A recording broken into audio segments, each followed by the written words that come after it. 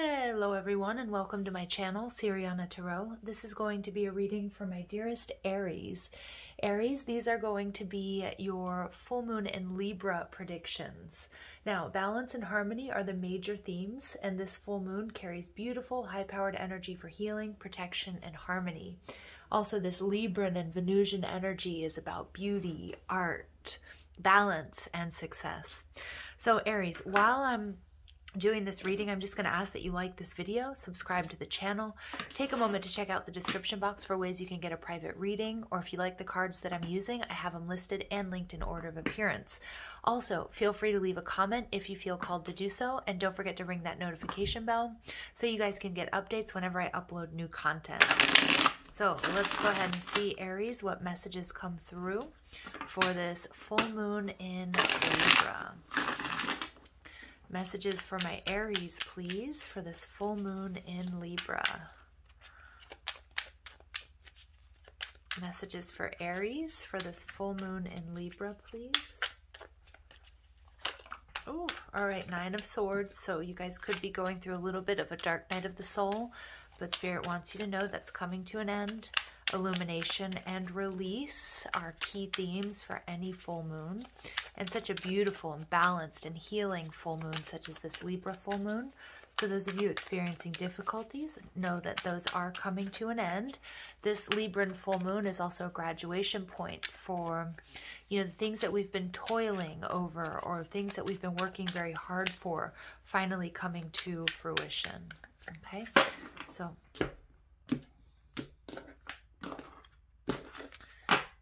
Aries. You guys are coming out as the Ten of Swords, so there's definitely some sort of karmic completion, some sort of painful ending, but it is an ending, and as you guys know, all endings bring new beginnings. There's that Eight of Swords, so that Nine of Swords isn't quite coming out yet, all right? Um, we have the Two of Cups in reverse, King of Pentacles in reverse, Six of Cups in reverse, the Nine of Pentacles, and the Judgment card. Okay, Aries. So I'm getting a few different messages. For many of you guys, this absolutely has to do with a romantic situation or a love relationship, although it doesn't necessarily have to be. Your overall energy is the world. Okay, so this is the immediately the message that I'm getting for Aries. So you guys have gone through an ending. It has been some sort of breakup. But the purpose of the breakup and this loss of stability okay? Whether it's in a, a, marriage, a love relationship, maybe you lost a job, a big contract. There's something, there's a major spiritual lesson unfolding about your independence and about your personal power. Okay, judgment is telling me that there's up leveling. But for some of you guys, there's a second chance in all of this. But you're meant to sort of go through this dark night of the soul. You're meant to feel this gamut, this range of emotions, because it's about evolution for you. The World card, this is um, Scorpio, Taurus, Leo and Aquarius energy. So you could have those signs in your chart or you could be dealing with one of those signs. But the world in reverse is telling me that you're coming to the end of a very difficult cycle, but you're not quite there yet. And that's coming through here as well with the Ten of Swords. Now, for some of you, this could be like a codependency or a behavior pattern that's being released. And it's really difficult, you guys. And any of you there, I just, it's, it's a message I just got. It may be about a sobriety journey for somebody here as well. But what I'm seeing with the Ten of Swords is this is a karmic completion. It's coming to an end. Yes, the devil. So this is about, you know, and the reason I get so excited is because many of you guys, you are purging unhealthy habits and unhealthy relationships. For some of you, there's a separation in a very important soulmate connection that was necessary for your up leveling. Now, it can also lead to, you know what, there's unfinished business between you guys, and this can be a card of second chances. But some of you guys, you may be leaving behind a person or a situation because you're up leveling and when we're going through the awakening process and we're on this on this ascension journey we can't always take everyone with us right? We can only do our own work. We can't do the work for others. So for some of you you are leaving somebody behind and it is quite difficult. The two of wands is telling me you're at this crossroads. You're you know you're about to cross over the threshold through a portal. There's like a new life, a new existence waiting for you. But it's very hard to see that because I see there's a lot of pain, there's a lot of sorrow, there's regret about having to do this, but it's about you answering your soul's calling and being on the path that you were meant to be on, Aries. The Three of Swords tells me that there will be healing. So for some of you guys, you're realizing there's this separation, this breakup. This was necessary to release any sort of negative attachments or to heal issues between you guys in the relationship. So for not all of you, is it meaning that you guys are going separate ways and you'll never see each other again? But for some of you, it's a very you know it's it's it's with a very heavy heart you are saying goodbye to someone or to something. Some of you may be moving out of the family home. Some of you may be leaving a job where you have lots of friends um, co-workers that you consider part of your soul tribe and you might be breaking out on your own. I see that you know with this nine of pentacles a very sort of entrepreneurial energy. Um, and for some of you guys you are leaving behind a relationship that you know that had run its course okay? And um yeah powerful energy there with the world card though because it's sort of this final push aries that's always the most difficult. And remember this full moon is a graduation point for us where what we've been working really hard towards um you know is going to you know is going to um, come to fruition. We're going to start to see that. Um, this full moon, I think it's also really important, and especially because you guys are Aries, um, it aligns with Venus, Chiron, and the Sun. And Chiron is the wounded healer and is currently in Aries, and it reminds us to use our wounding, and that's what I'm seeing here, to help us step into our power, while this soft and sort of sensitive energy of Venus is reminding us to do it in our own way and in our own time.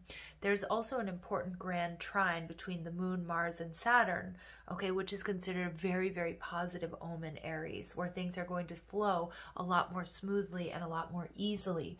But it does require, you know, going through this sort of difficult end point, graduation point, if you will. So the Ten of Swords and the Eight of Swords, I'm going to read these two together. This is where you are. So there's an energy of feeling stuck, maybe not knowing which direction to move in. Um, some of you guys, it is that Nine of Swords that popped out. It's this dark night of the soul, not sure if there's a light at the end of the tunnel. What are you doing and why? Is this the right decision? Okay, Spirit is saying absolutely it is the right decision here. Remember, you're only stuck when you think you are.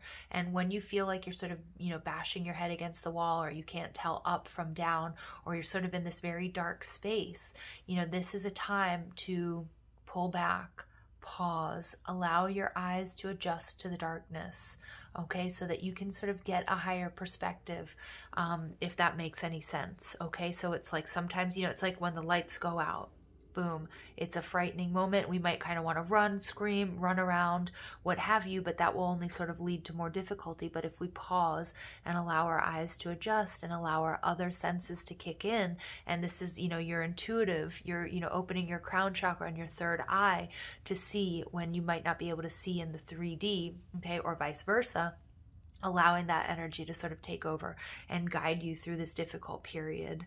All right, the Two of Cups tells me that some of you, you may have experienced a breakup in a partnership or a separation. But remember, everything is going to move very smoothly. There is going to be a beautiful, um, there's going to be a beautiful graduation here, an up leveling, a success. Um, and we see that Two of Wands and this Three of Swords. There's a healing here taking place, whether that leads to a rekindling of your relationship or whether that leads to you moving forward.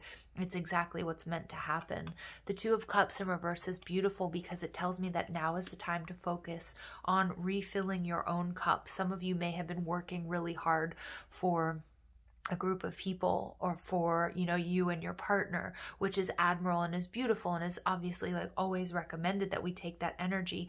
But if it's something that's been dra- that's been very draining for us okay? And i do feel like there's especially with the devil energy capricornian energy um, but with this devil energy there's something here that was toxic that was becoming unhealthy for you. And so spirit's really asking you to take this moment of pause in this sort of moment of darkness to refill your own cup because there's a huge blessing in all of this for you.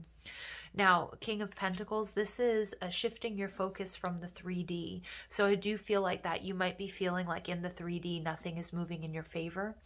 Um, that things are very difficult. Um, and again, this sort of dark night of the soul, this anxiety, this depression that I'm seeing in this reading, this lack of stability is really spirit getting you to see with that third eye rather than, you know, when I just keep getting this, somebody's eyes being blindfolded maybe from this eight of swords or their you know hands covering somebody's eyes but that's allowing you to get a higher perspective and allow your other senses to really kick in. The, the king of pentacles is also telling me aries that you may be doing something that does sort of put your stability into question but it's all about answering your soul's calling. And sometimes and they're showing me the five of pentacles right now that we you know in order to take the high road or in order to take the road that is you know, we take the low, the, I keep getting all these sort of these sayings about the high road or the road less traveled, but sometimes we have to take the road less traveled or the road that um, that's harder for us but because it's the right road okay? And that's what i feel like what's going on here. There are beautiful rewards here for you aries though but there is a difficult period but it's definitely coming to an end the Six of Cups is telling me here, again, that you may be, um, you know, you may be focused more on what you've lost or who you're leaving behind, but Spirit wants you to focus on achieving this loving balance and staying in your loving presence. Um, there's an energy of needing to release yourself from nostalgia, looking at a particular person or situation or job through rose colored glasses. Oftentimes, when it is time for us to move onward and upward, we have this moment of, Am I really making the decision? And I'm going to miss X, Y, and Z so much you know um, so for example if somebody here is striving for financial independence and you're moving out of the family home or if you're moving away from a relationship that's run its course when it's time to actually move onward and to take action we can start to think no no no i don't want this because i was happy and i was comfortable but that's ego energy and we see that here with the devil. That's ego energy that's keeping you in a place of you know where you're comfortable but it's not for your greatest good. And we see you aries with this two of wands looking back.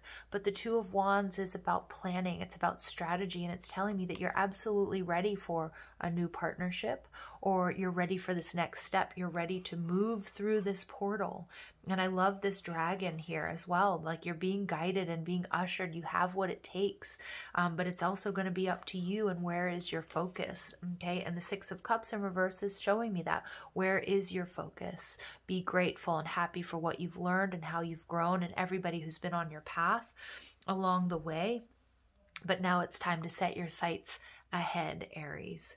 We see the Nine of Pentacles. This is Spirit's reassurance, especially with this Tiger energy, that you have what it takes to find your inner courage, to make the moves and take the action that you need to in order to be successful. For some of you, you're starting your own business, okay? And it's sort of a lonely road. It's a little bit, um, you know, it, and there's a little lack of stability, right? Because you don't have that sort of big company to rely on, or you don't have that contract um, to rely on. But Spirit saying you can rely on yourself. You can rely on your resources. You can rely on your judgment. You can rely on your previous experiences and what you've been through, sourcing your wisdom from ancestral knowledge, your DNA, your life experience. Because what we see with this judgment card, Aries, is a beautiful, beautiful up leveling. This is a karmic review. You are absolutely ready to cross this, this threshold, and your life is going to look completely different. Now, for some of you, it's making making a difficult decision to move away from a soulmate okay, or to release yourself from a karmic contract, something that you may have been attached to for quite some time, even somebody that you might love. But anything that's holding you back, Aries, really does need to be dealt with, and, and you are moving forward, okay? And so I do get this energy. There's like kind of this darkness, this sadness, this sorrow, the mental body being quite confused. But with the judgment card, I'm getting that, you know, it's time and that you are ready. And I keep seeing that Two of Wands, like looking back at the past. Um, but remember, you know, many of you guys on this journey of ascension, it can be kind of a lonely journey.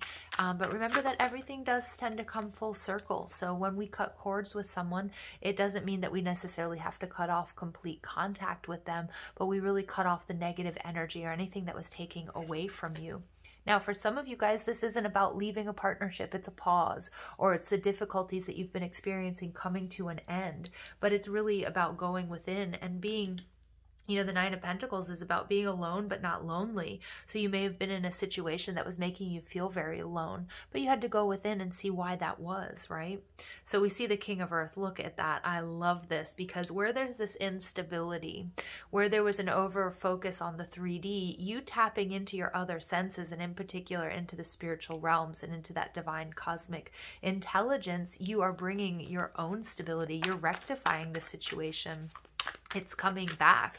And for many of you guys, if this is about you starting your own business, it has been very difficult and you may have thought about giving up at times. Look at all these cards falling out. But look who wanted to come out and join the King of Earth.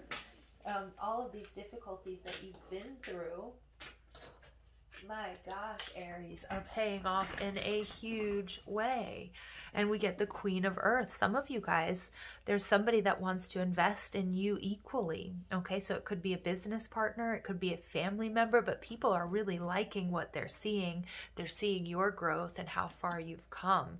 All right, this is a major up leveling here. For many of you, this is about love and relationships. This is your soulmate. This is a power couple, the king and the queen of earth. They don't get better than that. They build a home, they build a family, they build a business, whatever any that's going to mean different things for all of us. So whatever that looks like for you, Aries, you have met your match or you are calling them in. That is this judgment card. Now, for some of you, it could be a reconciliation. And again, there was a necessary pause that was needed between you guys. You needed to experience this instability, to see past the 3D, to see past the matrix, to see that thread that connects all things and call in your soulmate for some of you, this karmic review, this is what you have generated. This is what you deserve. But it required you leaving behind old attachments, Aries. So whether this is love or business, you have fabulous energy coming towards you. And this is what you deserve. This is absolutely what this Venusian energy, this healing, it's like stepping you, you're using your old wounding to propel you to be better. And not only just to be better, Aries, but to be great. For some of you, this is achieving that internal balance. And you guys, I mean, this is like millionaire status type energy here I'm getting. And the reason I'm saying that, you know, and that can mean different things. I mean, a million is a million, right? But this is the energy of you feeling on top of the world, okay? Ah, so we get the nine of air. So there's that nine of swords that wanted to come out. So this dark night of the soul has been Oh, and we get the six of water. So look at that. We get double confirmation of the six of cups. Two sixes, that's Venusian energy. That's balance. Some of you guys, this is this is love and partnership all com coming barreling towards you in one beautiful package. But it's what you've generated. It's what you are calling in. For some of you, again, it was a pause in a relationship. There's a rekindling or a recommitment here taking place. But it took this dark night of the soul, Aries, for you to gain perspective because there was something here that wasn't working, something that needed to be healed and cleared and released in order to bring this to fruition overall energy, the eight of earth, your dedication. This is something this, I'm getting this energy of the tree of life here with this violin. I'm getting that your practice and your dedication is really, you are mastering this energy. This is spiritual mastery. You're learning a very tough lesson and you're conquering it, you're mastering it, and that's what's calling in this beautiful king and queen of earth energy. For some of you, you're making a current situation stronger. For many of you, it's business. And for a lot of you, Aries, this is about you finally being in union with your person. Serious power couple status, eight of water, but it took you walking away. And what I'm seeing here, double eights, Aries, this is an energy of ascension, manifestation. I mean, you guys are powerful, powerful beings. And you're recognizing it. But it took this Nine of Swords, it took this Dark Night of the Soul to for you to step into that power.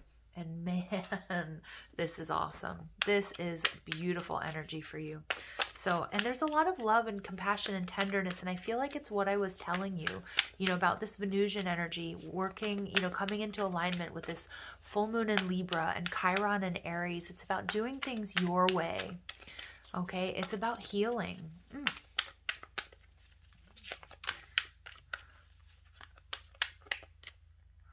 All right, so we get go the distance. 47 breaking down to an 11. So for some of you, this may even be your twin flame journey or a soulmate energy, but this is a relationship, a business, a partnership that is not going anywhere. And I'm seeing that here with that eight of eight of earth. It's built on a very strong foundation. And we get deep knowing. 43 breaks down to a seven. Sevens are about our spiritual journey. And this is absolutely what this whole reading is about. This is about you also finding peace after a very sort of difficult time, finding love and tenderness, but also your strength, um, either in a partnership, but first and foremost within trusting your intuition, sourcing sourcing your wisdom from not only those who have come before, but really tapping into source energy, but your inner wisdom and your intuition to make this happen. All right, I love this for you, Aries. I love this. It's magical. It really, truly is. It's almost like you're doing the unthinkable. You're doing um, what I think. I think many of you guys have, have majorly turned your life around um, after a major setback, whether that was, you know, a rough past, whether it was, you know, maybe there was, you know, addiction, or just, you know, sort of a darker past, it's like you guys are moving mountains. That's what I'm getting. You're moving mountains. Okay, we get separation. So I see that, you know, that came through. Some of you guys, you are leaving a partnership behind or a person where there was once a lot of love, but there was a heavy attachment that was holding you back. And we see that with the Two of Cups. For some of you, there is rekindling. I mean, the Six of Cups is about you know, is about seeing things for what they truly are, not being overly nostalgic, but it's also rejuvenation and reconciliation. So for some of you it is, but you guys are going to know that.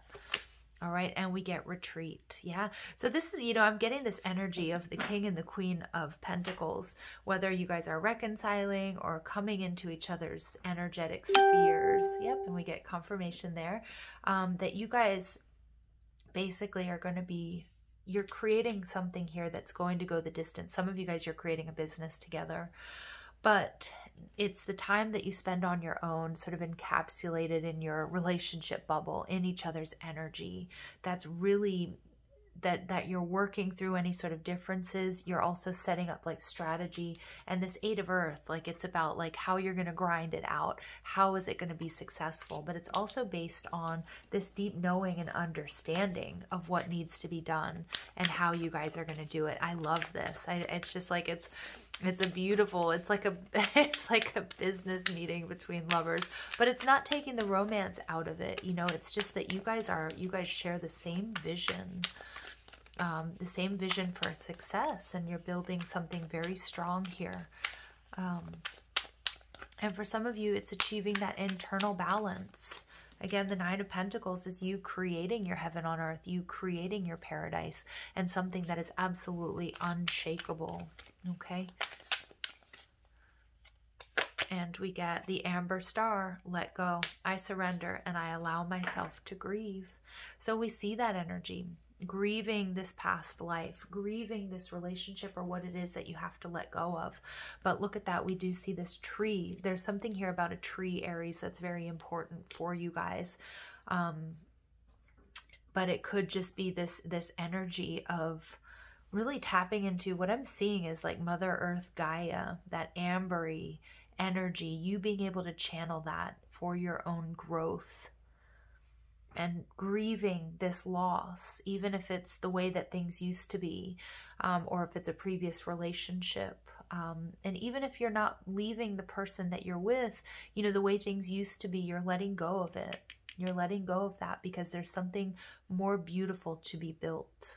Okay, so I'm going to leave it there, Aries. I hope you found clarity and guidance in this message. Sending you lots of love and light. Take care.